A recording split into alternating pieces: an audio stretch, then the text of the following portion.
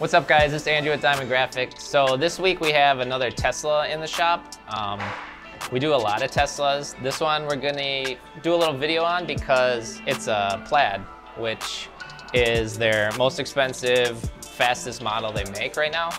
And this was a white one going matte black. So I kind of want to highlight the how much difficult it is to wrap a white car versus a black car. Um,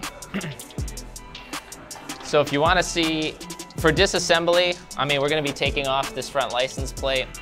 Um, we're going to be removing possibly the tail lights. We don't have to take the door handles out or anything because they're like inside the door already.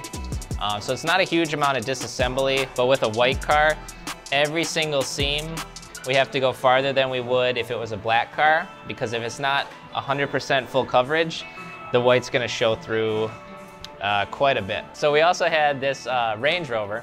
Um, this was a gray car first, and we're doing it in satin black.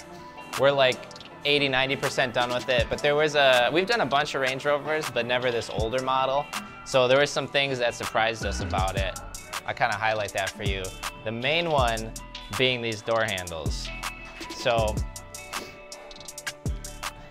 Alex is working on the door handles now. Most of the times when you have a car and you have a door handle, you can remove it. Um, so we removed the entire door handle piece from the car and you would assume that we could take this piece out as well. But because of the way they put this together, there is a bolt with a head on either side. So we would literally have to drill that and then find some sort of, I don't know, another bolt to put it in. So we have to wrap it like this. So you can see he's working on it with the handle still attached to it.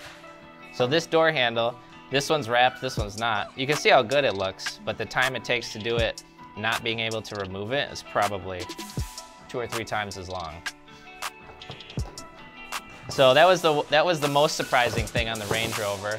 Um, what else was kind of challenging? Um, so we're doing it satin black. Uh, we're buying a new grill. This is the old grill. We got a black one, a gloss black one coming in. We also have gloss black side vents going in. We're gonna be tinting the tail lights as well. So you can see, um, again, these door handle areas, with the new Range Rovers, we can literally just, it's a screw, the door handle pops off. For these ones, again, we have to do full disassembly of the door and then disassembly again of the door handle itself. So that's kind of a pain in the butt. That took a little bit longer than we thought. Um, yeah, think about that. I mean, everything else is pretty self-explanatory. There's no real other surprises. Um, so yeah. So we're wrapping this car in matte black. So satin black and matte black are some of the two most popular ones. Um, you can kind of see the difference here. Let me move this one. So this is a fresh roll of, of matte black. And you can see it next to the satin black. You can see the difference.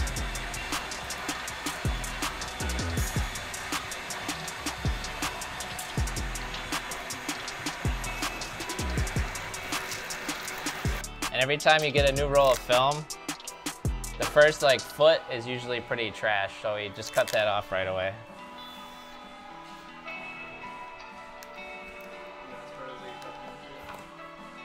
I just did that, trying to open it. Whoops. Because as you, as you can see, the first foot, it actually doesn't look that bad, but we usually just cut the first foot off anyways. Because they'll have tape marks or they'll have scrapes from like shipping and stuff like that.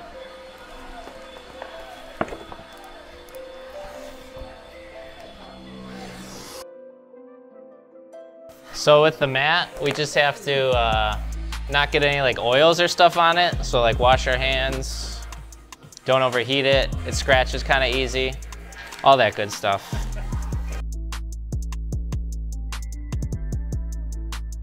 I'm just wiping it down in case we had touched it with our hands that may have been a little greasy.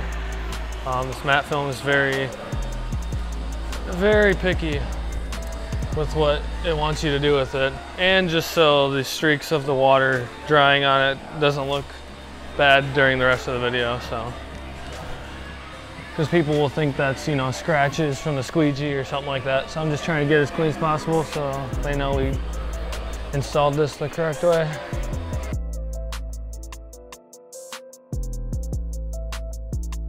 I just explained to him why I was wiping it down because Josiah eats a lot of greasy food and gets like shit all over the wraps. So for the matte wraps, you really need to wipe them down.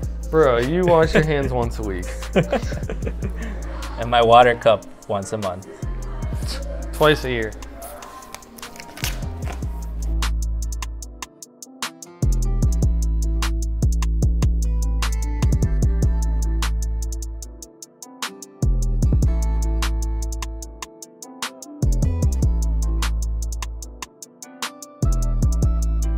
Why do you tape the car key to the window?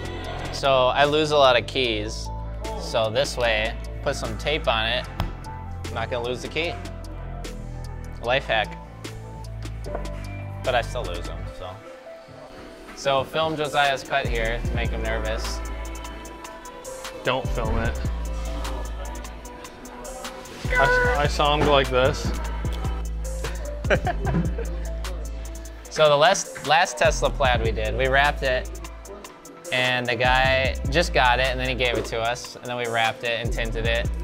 And then he took it to a Bucks game and leaving the Bucks game, he had two broken windows and then he backed into someone. So he didn't even have it for a couple hours and we had to replace, well he had to replace two windows and then rewrap his back bumper, so.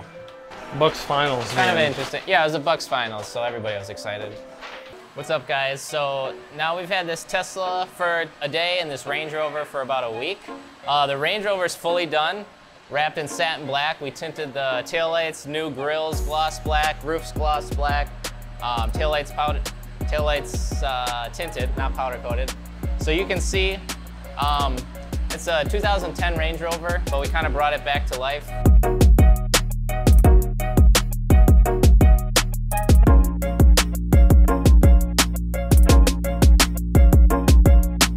Again, like I said, the door handles were probably the biggest issue with this one that we've never had before. Uh, but it's kind of cool. A lot of people ask, what's the difference between like satin and matte? Um, so we have a satin and we have a matte. So I want you to kind of see them both side by side. For me personally, I like the satin because it's easier to clean. Uh, it doesn't scratch as much and it looks a little bit more rich black, whereas the matte black looks a little gray sometimes. So since the Range Rover's done, we're about to do some more panels on this Tesla. All right, so for this Tesla, uh, we took the chrome off. Uh, we did knifeless all around the doors and up here. And uh, it's a relatively flat door, so that's not hard. But there's one little thing you have to make sure to do because these door handles come out of the door. So we locked the car and then we hid the key somewhere far away so I can't open it accidentally and ruin that piece of vinyl while I'm laying it. So I'm just gonna give it one final wipe.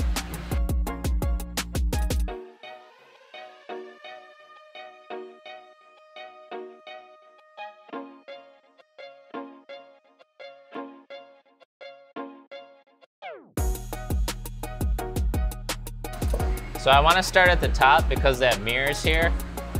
And uh, a lot of times it can like throw dirt under it or yeah, just basically this is the most like sketch part of the door. So if I start it there, it's not gonna leak any dirt onto the rest of the wrap and I can pretty much just work down from there.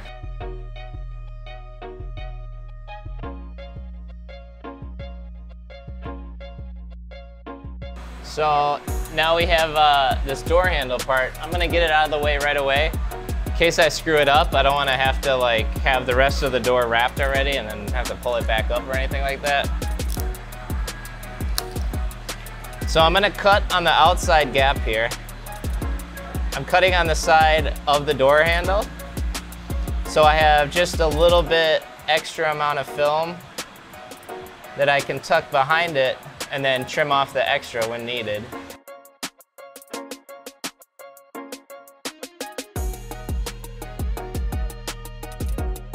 That seemed to work. And this is a matte film, so you can see all these little scratches I'm leaving just by like touching it basically. But the good thing is when the heat comes, like they go away. Or they should.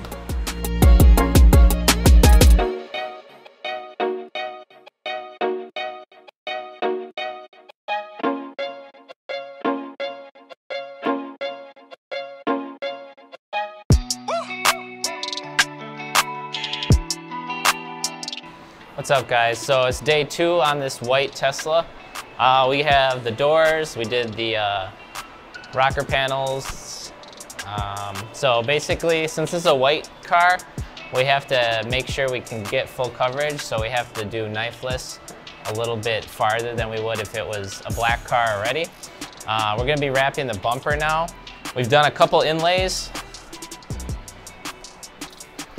So we've done four inlays already. The first one being up here, the second one being here, and then we have two small ones, super small ones, probably can't even see them, right here, just so we don't have any white showing um, once we lay the main piece of film.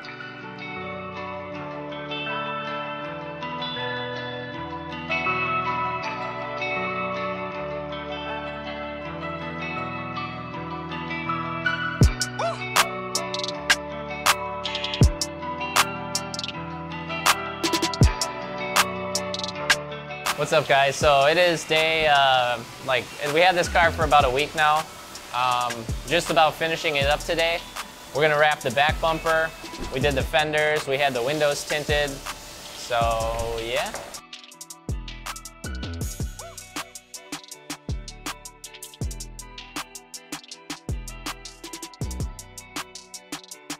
All right, so what's happening? I got five on Alex. They're gonna arm wrestle. I don't know why, but Don't cheat. what happens happens. All right, as soon as I let go, we're starting. One, two, three. zero. All right, I'm gonna say three, two, one, and let go, and that's when y'all start. Ready? You shaking? I'm not shaking. I just want him to cheat, bro. All right, Y'all are moving the fridge. three, two, one. Oh, that's five. Q's using his arm and shit. Alex isn't even trying yet. that's a, That's a look job. That's a, that's a Wanna snap his arm? I got five. I had him shaking. I had you shaking. He was all squeezing that. he probably peeled up the edge of the. Yeah, we're not gonna. We're not gonna film that. That's good, I'm just here working while they're arm wrestling.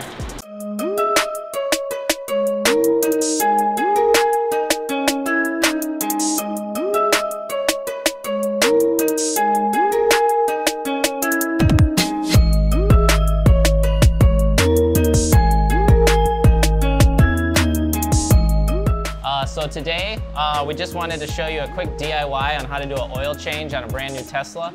So we just got this Tesla Model Plaid, or Model S Plaid uh, into the shop. Brand new car, but we figured we'd show you how to do an oil change just in case you have one and you're not sure how to do it yourself.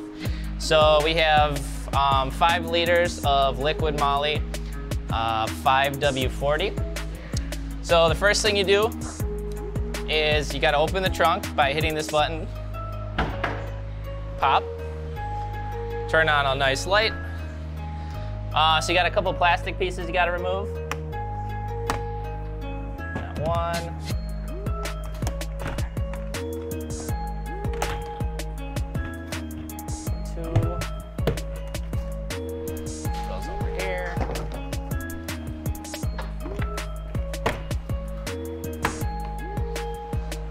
Three. You got one more.